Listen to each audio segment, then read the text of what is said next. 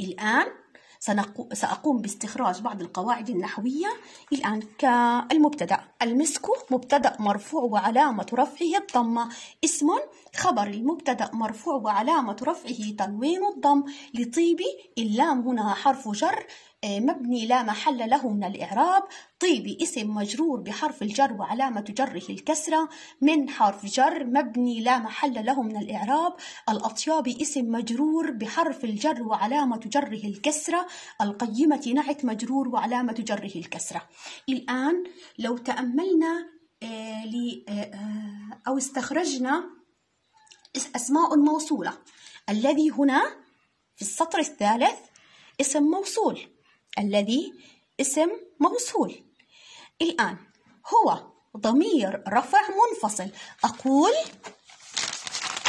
هو سريع الهربي. الآن هو ضمير رفع منفصل مبني في محل رفع. مبتدأ سريع خبر المبتدأ مرفوع وعلامة رفعه الضمة وهو مضاف. الهربي مضاف إليه مجرور وعلامة جره الكسرة.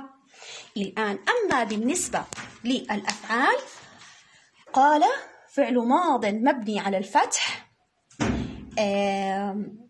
أقول ينتج. فعل مضارع مرفوع وعلامة رفعه الضمة. يعرف فعل مضارع مرفوع وعلامة رفعه الضمة.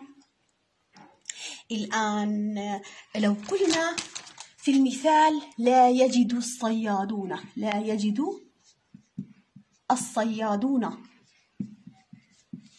هنا لا يجد. هنا لا لا نافية. لا نافية. والفعل المضارع والفعل المضارع. بعد لا النافية تبقى حركته كما هي. فعل مضارع مرفوع وعلامة رفعه الضمة. الفعل المضارع. بعد لا النافية على عكس. لا الناهية واللا النهي والجزم. فعل المضارع بعد لا النافية يبقى تبقى حركته كما هي. فعل مضارع مرفوع وعلامة رفعه الضمة.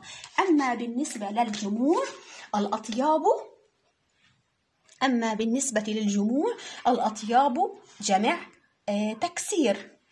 المتنافسون جمع مذكر سالم. المطففين جمع مذكر سالم. المصائد جمع تكسير. الصيادون جمع مذكر سالم. المصائد آه، عفوا الصيادون جمع مذكر سالم. إلآن لو آه، قلنا أسماء إشارة اسم إشارة لهذا ولهذا لا يجد الصيادون هنا لهذا اسم إشارة. آه، لو قلنا يا خامس كلمات تحتوي على تنوين. تنوين أقول مسك تنوين ضم. خواف تنوين ضم. سبيلا تنوين فتح. تنوين فتح. الآن. الفقرة الأولى اشتملت على فكرة وهي أن مصدر المسك هو أي إيل يعرف بإيل المسك. الفقرة الأولى اشتملت على أن مصدر المسك هو إيل يعرف بإيل المسك. أما بالنسبة للفقرة الثانية انتباه يتجمع المسك في بطن هذا الإيل في كيس بحجم البرتقالة والذكور من إيل المسك هي وحدها مصدر المسك وبعد اصطياد الإيل الذكري يستأصل هذا الكيس ثم يجفف في الشمس أو يغطس في زيت ساخن. الآن هذه الفقرة تتحدث عن أين يقع الكيس ومكان وجود كيس المسك وماذا يفعل الصيادون في حالة استئصال هذا الكيس. الآن هذا الكيس يوجد في بطن هذا الإيل. هذا الكيس يوجد في بطن هذا الإيل وهو بحجم البرتقالة.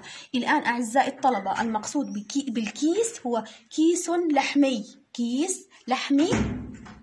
كيس لحمي يوجد في بطن هذا الإيل. الآن أما بالنسبة لماذا يفعل الصيادون في حال استئصال في حال اصطياد هذا ال ال الإيل؟ وللأسف الشديد يا خامس بأنهم بيقوم الصيادي يقوم الصيادي الصيادون بقتل هذا الإيل بطريقة قاسية لاستئصال هذا الكيس من بطنه.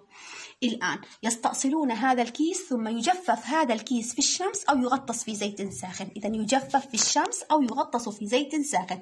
إذا الفكرة التي اشتملت عليها هذه الفقرة